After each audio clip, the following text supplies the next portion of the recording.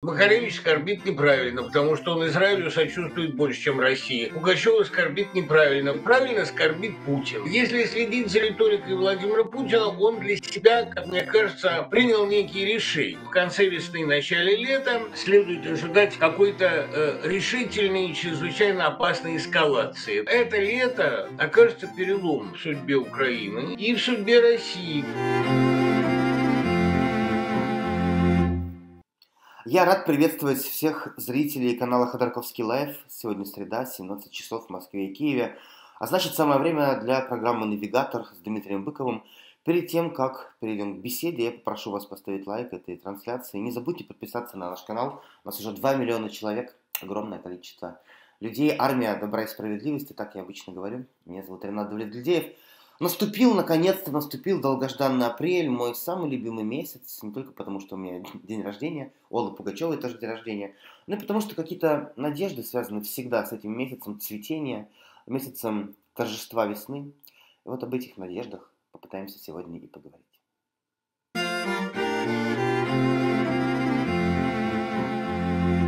Здрасте, Ренат. А когда у вас, кстати, день рождения, раз вы его уже анонсировали? Ой, у меня день рождения еще не скоро, 20 апреля, как у Гитлера в один день. Довольно скоро, да. А давайте пока, давайте пока поздравим Аллу Боссарту, который день рождения сегодня. Ей 75 лет, она этого совершенно не скрывает. 75 лет такой напряженной, насыщенной жизни и при этом не остывающий темперамент, потрясающая трудоспособность. Алка, ты для нас, для всех живой пример и надежда. Да, я всячески присоединяюсь к этим э, поздравлениям э, с днем рождения от меня тоже. А, обязательно будьте счастливы, берегите себя, и я уверен, что вся наша аудитория тоже к этим словам э, с радостью присоединится. Начать я все-таки хочу с чуть менее приятной, радостной и радужной темы. Не можем мы не подводить итоги случившегося в Москве теракта, взрыва в Крокусе. И вот о чем я вас хочу спросить. Вот весь мир кричит – это ИГИЛ. ИГИЛ кричит, это мы. И только Владимир Путин принципиально мотает головой, а, вторит ему и господин Патрушев, глава Совбеза, бывший руководитель ФСБ и человек Рязанский сахар. Вот так вот он мотает головой, посмотрим прямо сейчас. ИГИЛ или Украина? Конечно, Украина. И вот э, дружно они пытаются убедить друг друга, себя, нас с вами в том, что это все-таки Украина. Но такое ощущение, что не верят даже Z-пропагандисты, потому что э, в том числе многие ультрапатриоты сомневаются вот в этой официальной версии Кремля, той версии, которую Кремль навязывает. Как вам кажется, Дмитрий Львович, вообще кого-то им удалось убедить, хоть кого-то, кроме друг друга, в том, что э, у этого теракта украинский след? Что ему Украину не удалось в этом убедить, а все остальное, в общем, в данном случае вторично, потому что на сегодняшней сцене, давайте будем откровенны, я очень не люблю слово «актор», но, скажем так, деятельный участник на сегодняшней исторической сцене один – это Украина, от которой зависит ее собственное спасение и, в конечном итоге, спасение мира. Россия э, реализует свое численное преимущество и территориальное не более чем – Остальной мир э, замер э, в ожидании, в надежде, что это все рассосется каким-то образом само, а Украина спасает само свое существование, потому что если она в какой-то момент оробеет или ослабеет, не будет никакой Украины, мы все это понимаем. Другое дело, что, понимаете, в России сейчас, значит, в очередной раз актуализован такой нарратив неправильной скорби. Кто правильно скорбит, а кто неправильно. Вот Макаревич скорбит неправильно, потому что он Израилю сочувствует больше, чем России. Пугачева скорбит неправильно, потому что осмеливается говорить о неприличности о слишком бурной публичной скорби, ну, как бы в ущерб каким-то мерам, принимаемым в ущерб реальной помощи пострадавшим. А э, правильно скорбит Путин, который использует э, гибель своих сограждан, своих подданных, как ему, наверное, кажется, для активизации антиукраинского дискурса. Это довольно характерная, довольно понятная реакция. Было понятно, что крокус будет использован в двух направлениях. Одно для расправы с последними инакомыслящими или с инакомыслящими за рубежом, слава богу, довольно многочисленными. А другое направление, конечно, активизация э, войны на всех, на всех фронтах. Тут и очередные высказывания Захаровой, и очередные угрозы Лаврова – насчет того, что президент Украины становится нелегитимен. Это, конечно, имея такого легитимного президента, как Путин, особенно трогательно выглядит.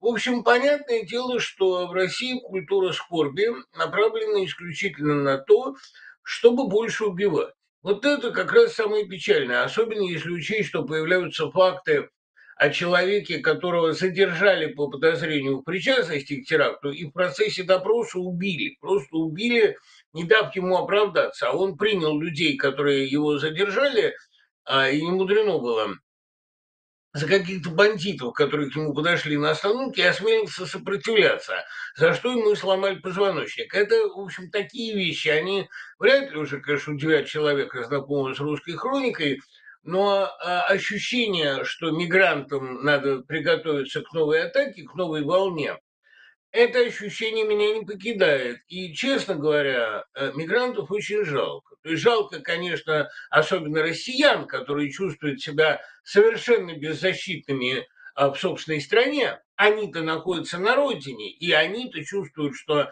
случись там какая-нибудь экстремальная ситуация, к ним помощь подоспеет далеко не сразу. Но иммигрантов весьма жаль, потому что, в конце концов, на этих людях лежит огромное бремя работы бремя, которое далеко не жаждут с ними разделить коренные жители. И вот эти мигранты, которых продолжают эксплуатировать, преследовать и ненавидеть, это, конечно, вызывает самые скорбные чувства.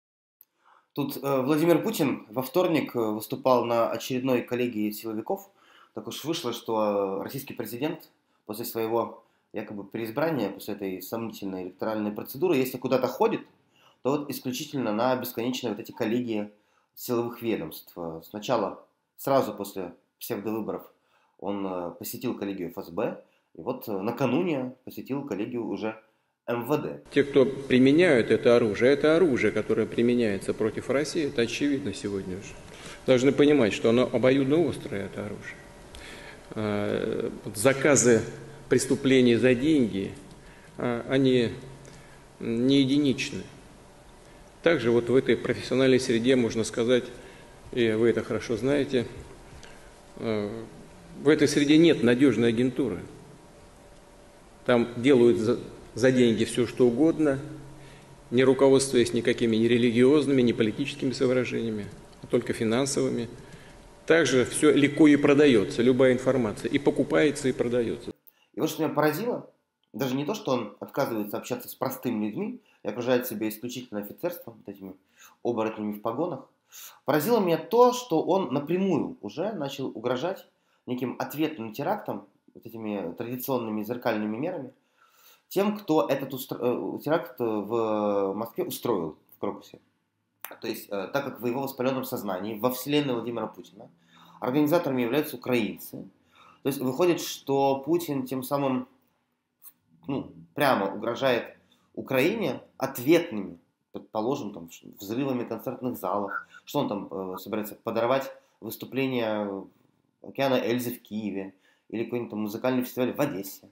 Нет, я не думаю, что это будет так симметрично, что это будут э, взрывы в каких-то концертных залах. Я просто думаю, что Владимир Путин усиленно готовит и Украину, и остальной мир, и российскую аудиторию. Все-таки ему важны какие-то здесь оценки к тому, что будет активизирована, по всей видимости, война, и э, в ближайшее время следует ожидать и полного, э, значит, массированного обстрела всех инфраструктур Украины, особенно включая энергетическую, ну и, по всей видимости, некоторый штурм на основных направлениях, на э, после Авдеевки они собираются брать Часов Яр. Это все, видимо, будет активизировано летом. С другой стороны, и Украина анонсировала контрнаступление очередное, и Зеленского тоже можно понять, он об этом предупреждал давно. Видимо, летом будет наблюдаться довольно серьезная активизация. у меня есть ощущение, что э, внутри себя, ну, просто если следить за риторикой, а нам же приходится за ней следить, мы обязаны думать о будущем. Э, если следить за риторикой Владимира Путина, он для себя, как мне кажется, принял некие решения. Не зря один из пропагандистов на Первом канале сказал, на Западе думают, что Владимир Путин остановится, а Владимир Путин не остановится ни перед чем. Тогда ведущий, а, пытаясь спасти положение, как рудиментарно говорит, ну он же не остановится в защите нашей страны.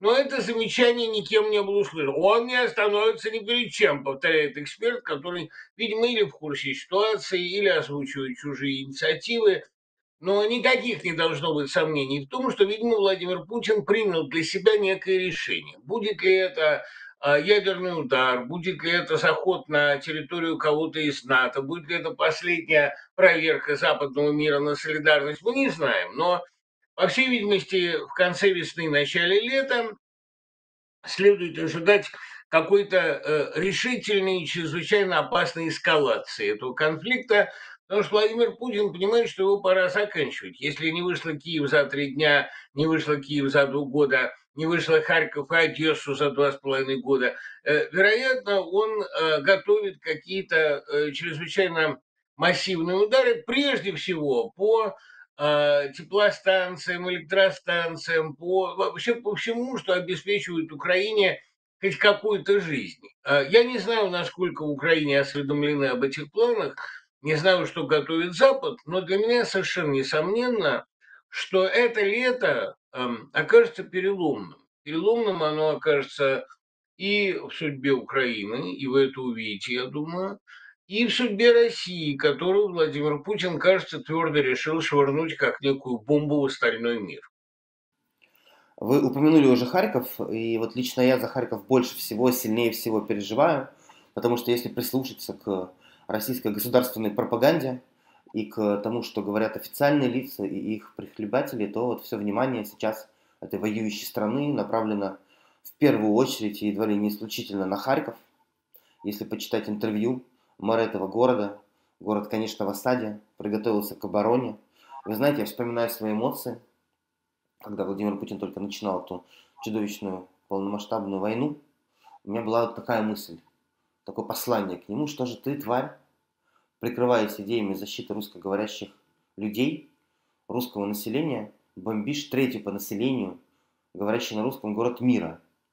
И вот тогда там было более двух миллионов человек, сейчас, исходя из интервью того же самого мэра Харькова, осталось всего лишь около 300 тысяч. Вот как раз все люди с Харькова уехали.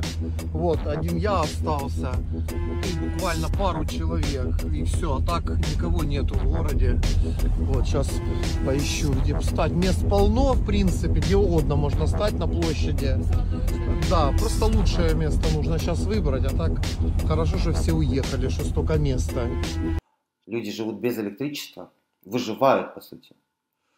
Если бы вы давали совет своим друзьям, товарищам, которые наверняка у вас в Харькове есть, вы бы им посоветовали уезжать, срочно уезжать? Нет, ну, э, все мои друзья, которые были у меня в Харькове, они давно находятся или на фронте, или в отъезде. То есть э, в городе нет ни тех, ни других.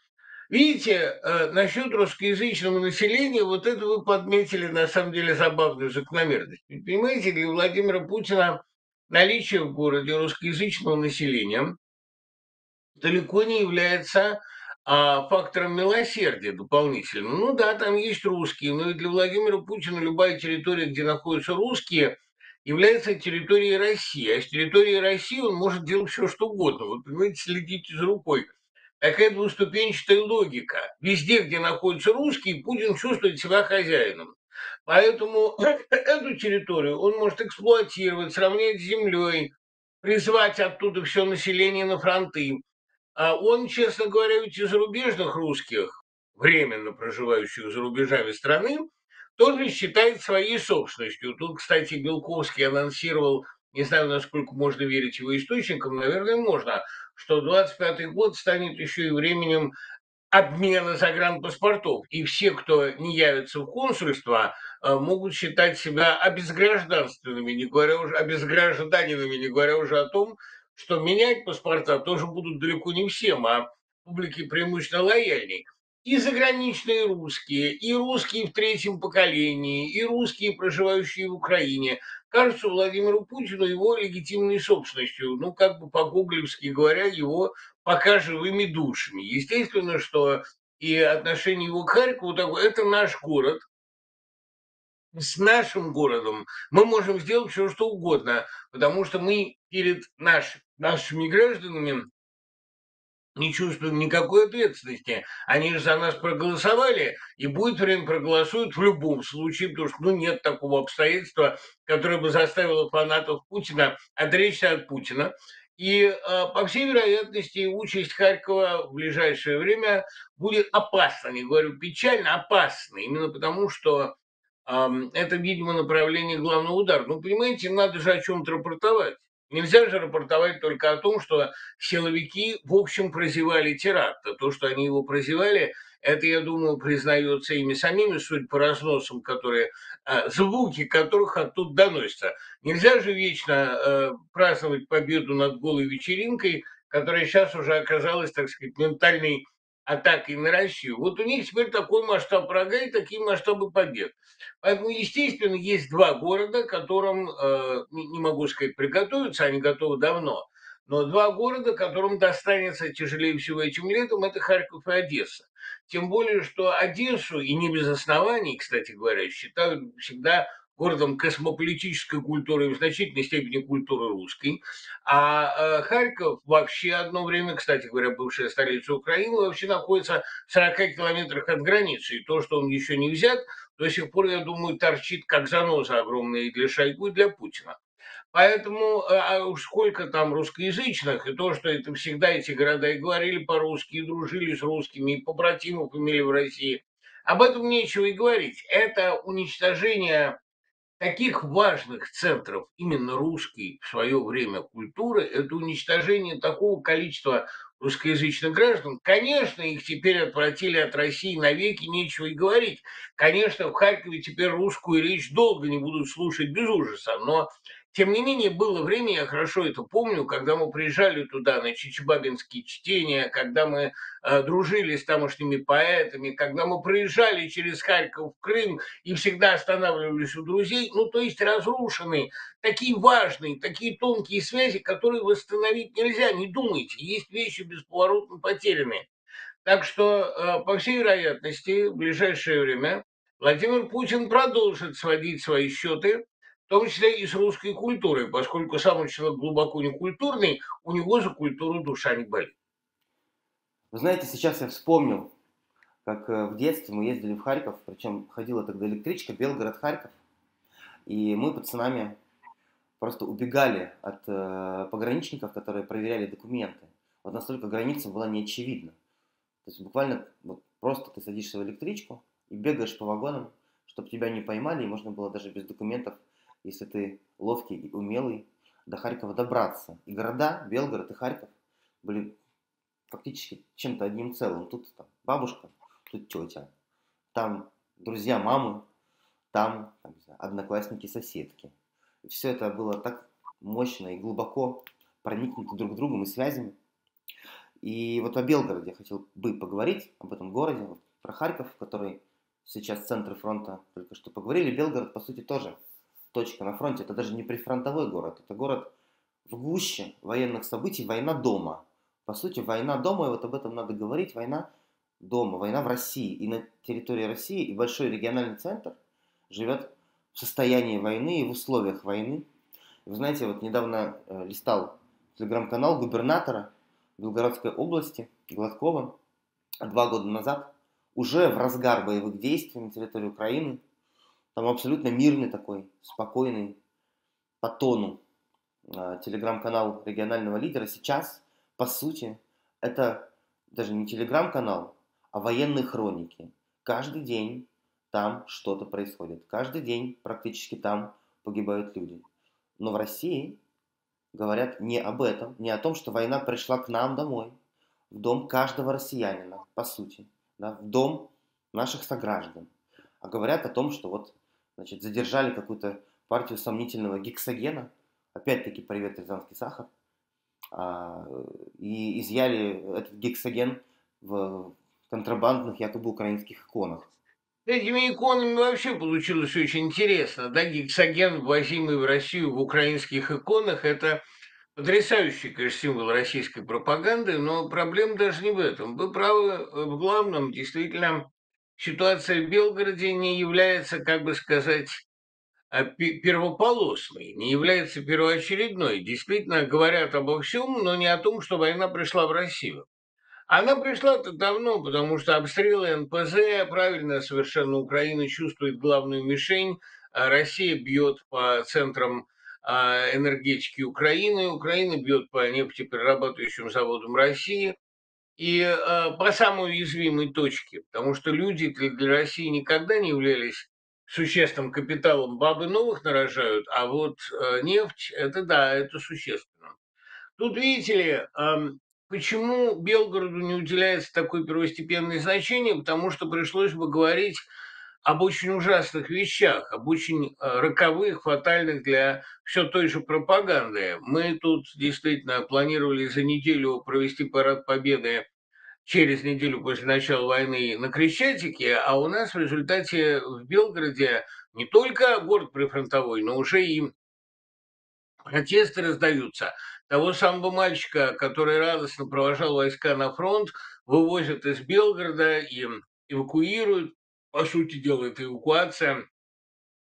И губернатор радостно говорит, мы приветствуем возможность показать нашим детям Россию. Но до такого, понимаете, никакие сталинисты не доходили, никакая сталинская пропаганда не говорила, какая радость, что наши дети поедут на Урал, посмотрят Урал.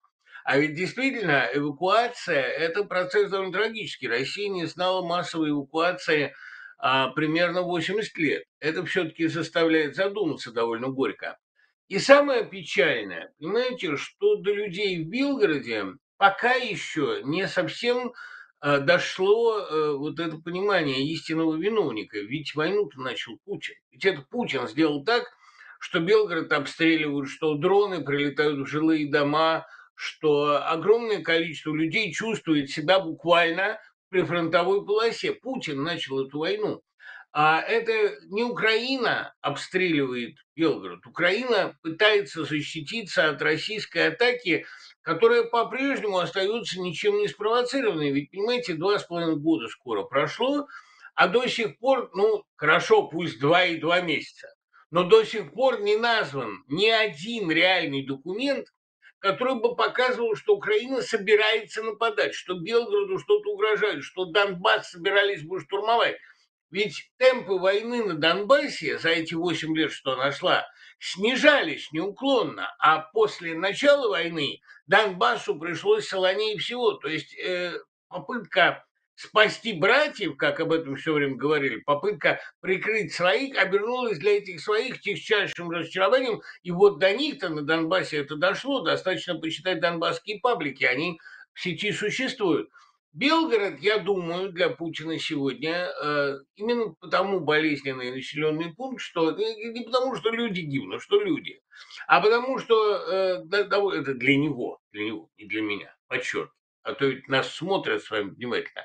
Для него люди, конечно, ничто, для него важно, чтобы лояльность этого города сохранялась в неприкосновенности. Сильно подозреваю, что с лояльностью там будут в ближайшее время большие проблемы, потому что, понимаете, вот это печальная очень закономерность, но просто когда по тебе стреляют, люди начинают соображать гораздо быстрее. Когда стреляли по Киеву, последние иллюзии относительно каких-то братских чувств к России там испарились за день. Думаю, что в Белгороде постепенно начинают понимать, какой характер имеет эта война. А Белгород ведь не один, там довольно много приграничных городов. Там, понимаете, и Курск недалеко, и на территорию Курска уже заходили – и поскольку я каждый год ездил на машине в Крым, я очень хорошо себе географию этих мест представляю. Поэтому а, думаю, что юго-запад России в ближайшее время начнет прозревать несколько быстрее, чем остальная часть страны. Вот вы сказали, что Россия 80 лет не переживала эвакуацию. Еще примерно столько же, те же самые 80 лет, Россия не переживала и войну на своей территории. И такое ощущение, что вот как раз воевать на своей территории Россия категорически не умеет. Умеет исключительно воевать где-то, да, куда-то отправлять воинские контингенты, забрасывать соседей, другие страны бомбами. А защищаться не умеет. И скажу ужасную вещь, наверное, чудовищную вещь, страшную вещь. Но, может быть, эта война закончится только тогда, когда эта война начнется, на российской территории, просто потому что Владимир Путин не умеет обороняться, Россия не умеет обороняться. Да, да, это, это много, это много раз, много раз было на самом деле проговорено. Вы не первый, кто эту мысль высказывает рискованную. Я просто хочу, тем более, что, понимаете, ведь бороться с вами или со мной значительно проще, нежели что-то противопоставить реальной атаке. А в России всегда умели лучше отлавливать внутренних врагов, нежели полемизировать с врагами внешними, скажем так. Ну, давайте действительно, э, понимаете, э, давайте э, уточним важное обстоятельство. Власть в России может рухнуть только изнутри. Я объясню. Никакая война, самая успешная, она не приведет к оккупации России. Как мы видели, например, на примере 1812 года, а тогда же Александр I сказал, что Россия может сжаться до Камчатки, но начнется и оттуда. Территория России, в принципе, настолько огромна, что она способна поглотить любого захватчика. Наполеон в Москву вошел, в древнюю столицу, и тем не менее с позором бежал оттуда, видимо, осознав а незавоевываемость, неперевариваемость такой гигантской территории. Власть в России может рухнуть только изнутри. Никакие военные успехи Украины, никакие военные поражения Путина, никакое количество погибших среди мобилизованных не приведут к критическому переосмыслению ситуации. Россия в ситуации внешнего вызова мгновенно переключается, это как синдром такой, на объединение вокруг власти и на оголтелую ненависть ко всему внешнему миру. Мы воюем не с конкретно Украиной, мы воюем со всем остальным миром, мы в ситуации глубочайшего ресентимента, весь мир против нас всегда был, никогда не мог наш, простить наших размеров, наших богатств, нашей духовности, которая выражается, вероятно, в чудовищной запущенности нашей территории. Мир не может нам простить, мы всегда одни против всех – Иными словами, этот нарратив непобедим. Невозможно, ну, в России можно превратить войну империалистическую войну гражданскую, это мы уже наблюдали в 18 году, но невозможно войну империалистическую никак интерпретировать так, чтобы вот власть была сама виновата. И, кстати говоря, и в Первую мировую войну Россия тоже влезла по собственной инициативе, выполняя союзнические обязательства, но, в общем, тем подписала себе приговор. Мы это хорошо помним. Иными словами, мы, мы же всегда не можем братьев оставить, да, поэтому мы, собственно, против братьев в основном сейчас и воюем. Ситуация э, эта может измениться, измениться она, безусловно, может и обязана, только если большая часть российского населения, в принципе, проснется. Если она поймет, что эта власть ни на одном, ни на одном направлении, вот это очень важно понять, не принесла никаких положительных сдвигов ни в научном, ни в культурном, ни в промышленном, ни в финансовом, кроме подорожания нефти, которое случилось независимо по попущению Божию, ничего, абсолютно, это хронически бесплодная и бездарная власть для России сделать не могла. Другое дело, что она выпихнула из России ее будущее, а посажала по тюрьмам наиболее активную и наиболее созидательную часть молодежи, именно не деструктивную, а созидательную. И я уж не говорю о том, что такого падения, просто падения по всем фронтам в России не было никогда. Может быть, прирос в России ВПК. Но ВПК – это далеко не единственное, более того, далеко не главное, чем страна занимается. Пока масштаб катастрофы, которую ввергла нас эта власть, не будет осознаваться внутри России, никакие внешние силы ничего не изменят. Но тут, видимо, э, уже сама по себе экономика начнет постепенно подавать сигналы. И вот еще одна, понимаете, важная штука. У меня сегодня как раз доклад, доклад о, значит, э, внутреннем государстве в России, он посвящен связям спецслужб и оккультизма. И я понял, ну, вы знаете, да, оккультные симпатии российских спецслужб вообще известны. Блюмкин участвовал в экспедиции Рериха в поисках Махатм. Глеб Боки содержал при своем секретном отделе специальный департамент гипноза и оккультизма под руководством Барченко. Все это хорошо известно. А важно выстроить нарратив. И вот я начинаю понимать. Знаете, что роднит спецслужбы с оккультизмом? Я просто вот еще не остыл после доклада подготовленного, поэтому об этом я хочу поговорить. Две вещи. С одной стороны, что мы называем вообще говоря оккультизмом? Это попытки духовной власти не при помощи духовного усилия, а при помощи заклинаний, веществ, гипноза, иными словами, при помощи внешних воздействий. Это как бы такие очень характерные для российских спецслужб такие попытки механистического и чаще всего пыточного воздействия на сознание, попытки его насильственной перестройки, когда вместо веры, интеллектуального усилия, духовного прогресса людям предлагают исполнить обряд или сказать заклинание. Вот это, наверное, э, первая вещь, такой incarnation. Вот это первая вещь, которая их роднит. И вторая. Спецслужбы и оккультизм, они поражают своим паразитизмом, своим абсолютным духовным бесплодием. Они ничего не могут придумать сами. Они паразитируют на традициях, на заимствованиях, на чужих идеях, на эксплуатации идей великого прошлого. Но сами по себе ничего предложить они не могут. И оккультисты, и спецслужбы абсолютно бесплодны в творческом отношении. Вот тот чудовищный храм вооруженных сил, зелено-пурпурный, как бы подсвеченный адскими отблесками который выстроен в Одинцове, это храм бесплодия, как это не ужасно, это храм отказа от исторического усилия. И то, что Россия, по справедливому выражению Андрея Кураева, стала страной победившего оккультизма, победившего на всех фронтах, это делает ее еще дальше от христианства. Знаете, вот честно вам скажу, много сегодня в мире э, всякой дряни, но ничего более антихристианского, чем нынешняя Россия, я себе представить не могу, особенно когда я читаю наказ вот этого Всероссийского народного собора под руководством, под руководством, естественно, патриарха. Кто бы ни писал этот документ, он поразительно откровенен. И то, что в России наказывать имеет два значения, в смысле паниш, э, наказание, punishment, и в смысле завещания, это тоже очень красноречиво. В этом наказе сказано, что вся Украина должна перейти под решающее влияние России, только вот еще территориальной проблемой, геополитикой не занималась русская церковь. И особенно наглядно, конечно, там сказано, что мы ведем священную войну. Само словосочетание «священная война» – это для христианина абсолютный оксюмарон, абсолютный горячий снег. Но церковь это говорит. И это еще раз показывает, что так растоптать христианство, как растоптала его Россия, не удавалось еще никакой инквизиции. А вот говоря как раз про оккультные практики, то, что мы видим, то, что страна и пропаганда навязывают как какую-то норму, новую нормальность, э, легитимизируя насилие, причем насилие ради насилия, ради самого процесса издевательства над человеческим. Вот отрезанное ухо. Мы очень надеемся, что этому парню, который не сдержался и отрезал это ухо, ничего за это не будет.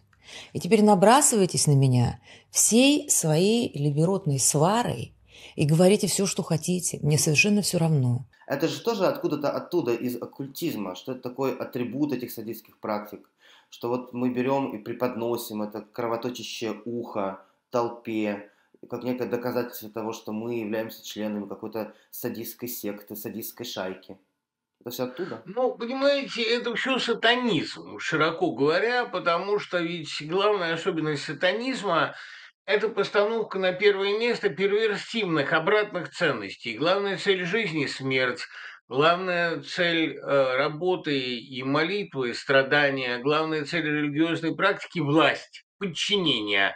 Ну и естественно, что отрезанное ухо становится символом патриотизма, а Маргарита Симоньян – которая пошла в полный разнос, просит не наказывать того представителя спецслужб, я не знаю, кто это был, спецназовец, пограничник, кто это ухо отрезал.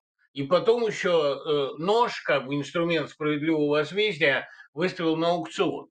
А то, что и российская пропаганда, и российские спецслужбы, и российские идеологи, прежде всего Дугин, являются неприкрытыми оккультистами и, по сути дела, сатанистами, это сегодня ни для кого не секрет. Именно потому, что Россия и утверждает во всем мире вот эти перверсивные ценности. А цель жизни – милитаризация, а не мир. А цель творчества, цель работы – нищета, а не процветание. Страдания и физическое страдание прежде всего, удел всего живого, ну и так далее. Вот эти перевернутые ценности, которые люди, конечно, не желали бы применять к себе, они другим отрекомендуют. Тотальная милитаризация страны, о которой все время говорят – Дугина, кстати, вот тут пытались окоротить некоторое время, пытались ему возражать. Ничего подобного, он продолжает гнуть свое, его продолжают печатать, и, в общем, он остается главным, я бы сказал, единственным идеологом этой власти. Других-то идеологов там просто нет. Россия сегодня всему миру пытается навязать репрессивную повестку. Понимаете, вот на протяжении последних, не скажу двух, скажу десяти лет, Вся Европа думает о войне, войне, которая идет в ее сердце. Весь мир последние два года уж точно боится ядерного уничтожения.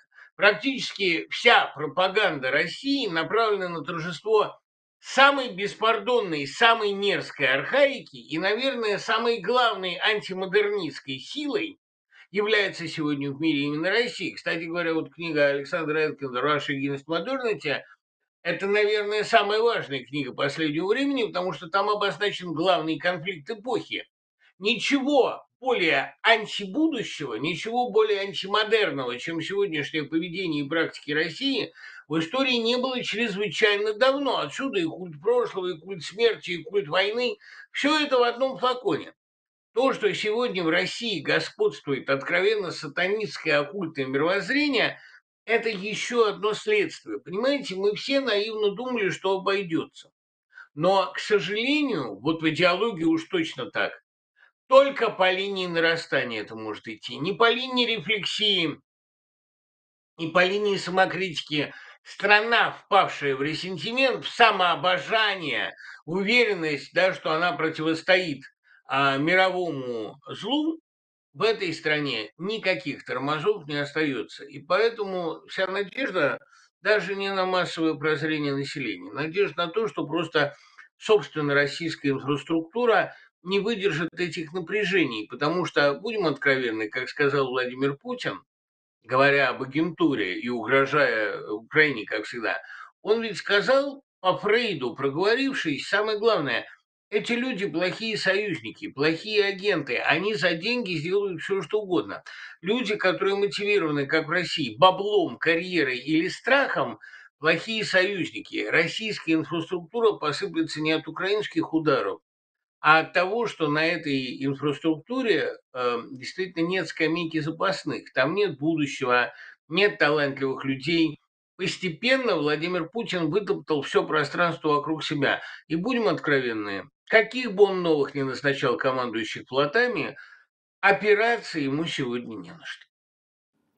Ну вот если сегодня в России мы живем в эпоху чекистского ренессанса, да, и спецслужбы контролируют абсолютно все э, зоны человеческой жизни, все общественное, все экономическое, все политическое, э, они фактически да, управляют страной, они везде. Всегда, всегда. И эти спецслужбы одновременно с этим являются, э, по сути, да, некими оккультными сектами.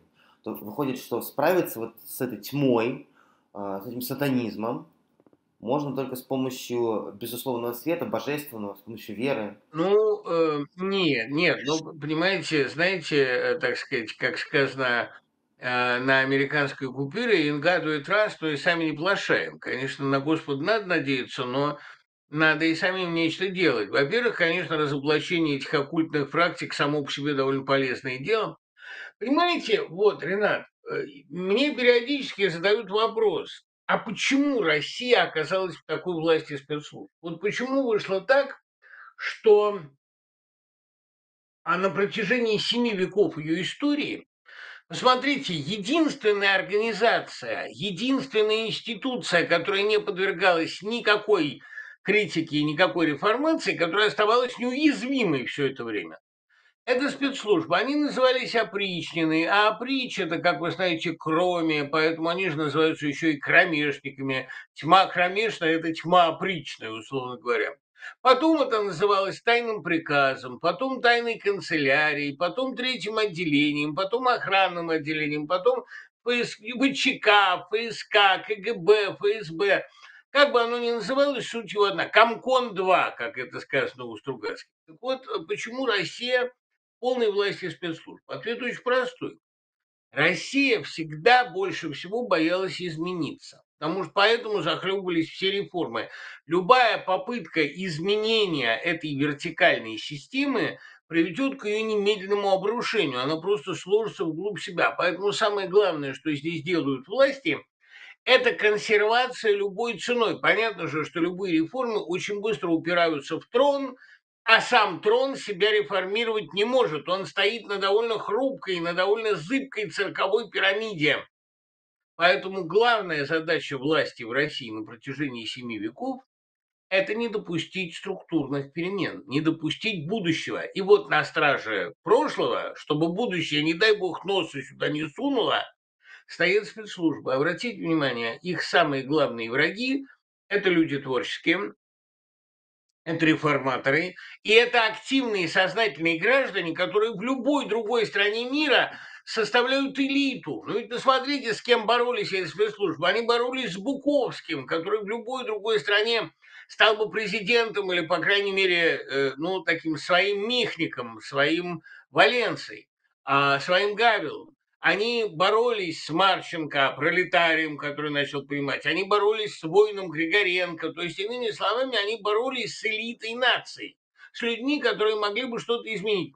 Ради того, чтобы торжествовали лояльные, агрессивные, ограниченные кретины, которые составляют большинство их палачей. Ну, причем это палачи довольно изощренные. Вот расследование Гаванского синдрома показало, что они там ультразвуковым оружием владеют весьма продвинутым. Вопрос в том, на кого направили все эти усилия на то, чтобы вызвать мигрень американской дипломатии, да вы попробовали от головной боли избавить собственное население, а не производить а, в промышленное количество головную боль у остального мира. Спецслужбы стоят на страже прошлого. Они надеются, что Россия так и будет гнить вечно, превращаясь в огромное болото. Но я их должен разочаровать. В болоте откладывается торф, а это, к сожалению, самая горючая среда. А тьма борется со светом только потому, что благодаря свету она существует, и без света и тьмы э, не может быть. Как э, пелось в недавней песне. Ой, ну а, слушайте, это да, да, так и хочется, так, так и хочется, так и хочется процитировать э, я не буду с тобой спорить, старый софист, понимаете, а тьма борется со светом в силу единственной причины. Свет уменьшает ее количество, свет освещает потаенные углы. Спецслужбам России живется очень хорошо. Их деятельность абсолютно закрыта, их финансирование практически бесконечно. Население, вечно подгоняемое внешней угрозой, готово лобзать прах от их ног, а иначе нас завоюют, иначе нас будут эксплуатировать не свои, а чужие. НАТО придет сюда. А, ну, видите, это все настолько давно работает, что довольно сильно заржавел. В болоте, конечно, все сохраняется в неприкосновенности. Я давно, когда сказал, в огне кое-что может уцелеть, а в болоте сгниет все. А переработка всего российского духовного капитала, инфраструктур, природных ресурсов, так называемые органические остатки, органические останки, идет в России бешеными темпами. Но хочется сказать, что даже и такой бесконечный ресурс, как ресурс России, он все-таки не безграничен. И э, главное, что самое печальное, понимаете, долгое время убивая или выгоняя лучших, вы лишаете себя а, элементарного будущего. Эта страна э, элементарно неуправляема сегодня. И уверяю вас, первая крупная техногенная проблема или внешняя атака, или инициативный персонаж вроде Пригожина. Первый черный лебедь, не стая черных лебедей, а первый черный лебедь, приведет к последствиям абсолютно роковым. Я говорю об этом без тени злорадства, потому что возвращаться в Россию такой ценой я совершенно не хочу. Но грешным делом мне приятно будет увидеть, что Господь не фраер, что Господь лишает слишком бодливую корову органически присущих ей рабов. Вот вопросом про людей света и про людей надежды мне хочется сегодняшнюю передачу закончить. Это будет вопрос про Аллу Пугачеву. Совсем скоро ей юбилей, 75 лет. И обычно ей на этот самый юбилей дарили ордена за заслуги перед Отечеством. Разных степеней делал это Ельцин, делал это Медведев, делал это и Путин. Но вот на очередной день рождения, на 75-й день рождения, власть ей планирует подарить другой орден, орден подлый, а, орден под названием а, статус иностранного агента. Как вам кажется, государство, элиты, власти, они опустятся до столь низкого поступка? Они включат Аллу Пугачеву в реестр иностранных агентов в честь праздника?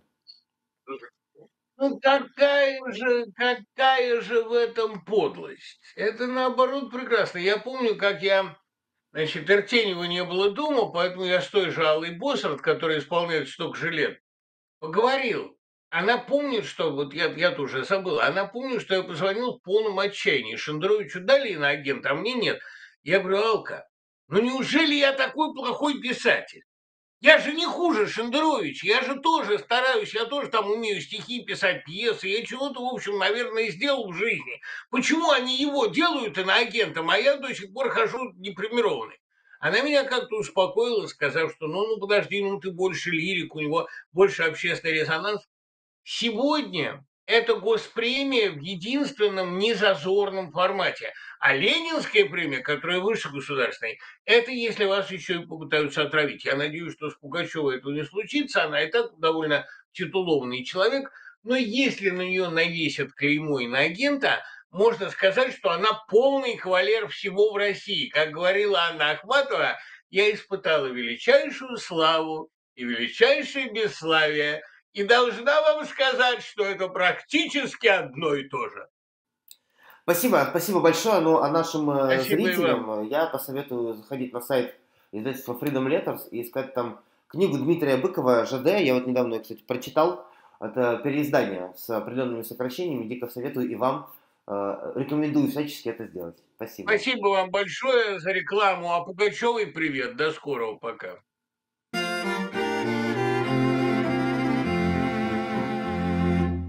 Ну что ж, вот таким получился сегодняшний навигатор. Спасибо, что были с нами. Э, меня зовут Ренат Давлетдельдеев. Также с вами был, как обычно, писатель-публицист Дмитрий Быков. Э, после того, как поставите лайк, не забудьте посмотреть другие программы нашего канала. Не только поставите лайк, но и прокомментируйте, потому что вот это тоже очень важно и полезно, и помогает нам рассказывать как можно большему количеству людей про то, что мы работаем и существуем.